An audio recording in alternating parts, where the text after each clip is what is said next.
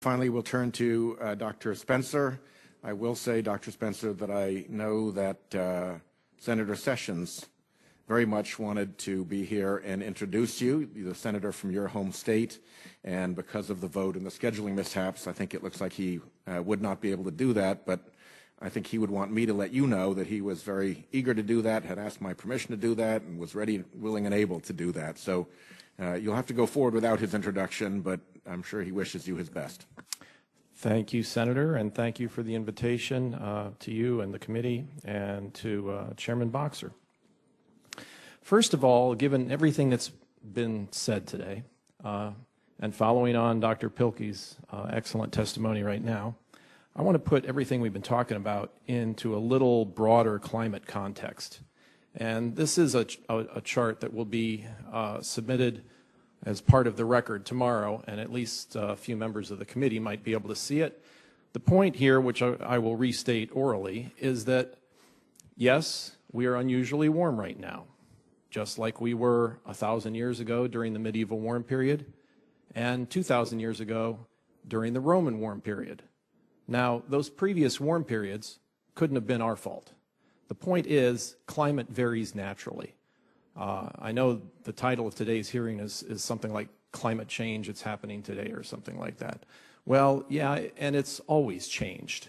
Uh, the question is, so what? How much of that change is due to humans?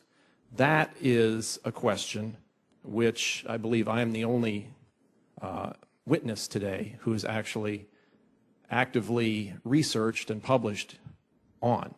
Uh, for instance, uh, we have a new paper that's uh, just been accepted for publication, uh, which looks at not only the warming we've seen in the atmosphere over the last, let's say, 50 years, but also the warming we've seen in the oceans. Dr. Cullen mentioned the importance of not just focusing on the atmosphere, but also looking at the warming in the oceans. And, and she's very correct.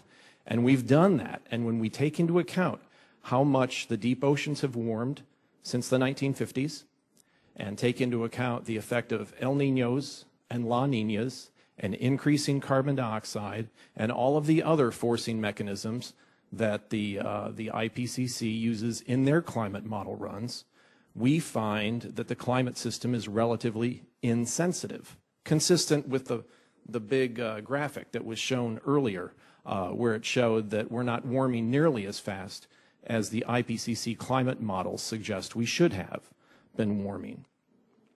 So the point is, a lot of evidence now is, is being amassed, which suggests that the climate system is simply not as sensitive to our addition of carbon dioxide to the atmosphere as most scientists think it is.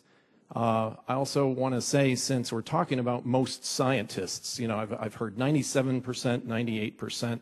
There's a recent paper by John Cook and co-authors who looked at thousands of research papers which have been published in the scientific literature to see what fraction, you know, support the scientific consensus on global warming. Well, it turns out that the 97% consensus that they found, I am indeed part of. And Senator Sessions mentioned he would agree with it too. And my associate, John Christy, he agrees with it. In fact, all skeptics that I know of that work in this business all are part of that 97% because the 97% includes people who think humans have some influence on climate. Well, that's a fairly innocuous statement.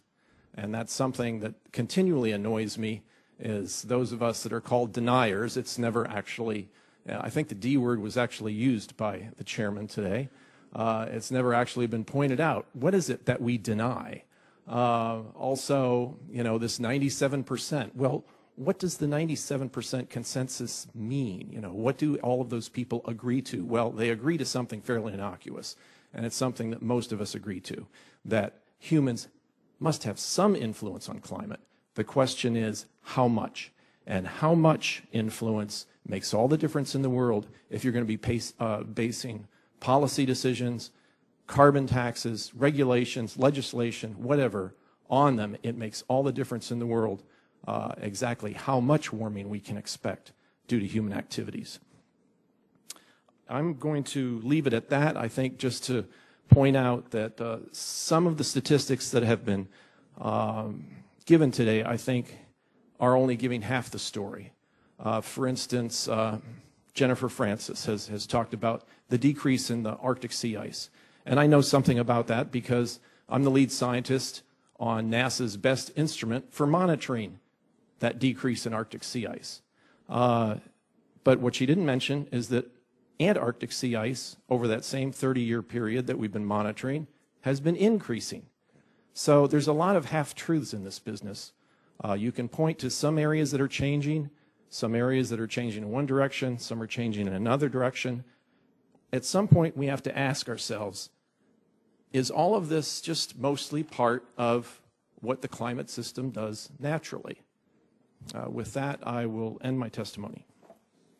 Thank you very much, Dr. Spencer.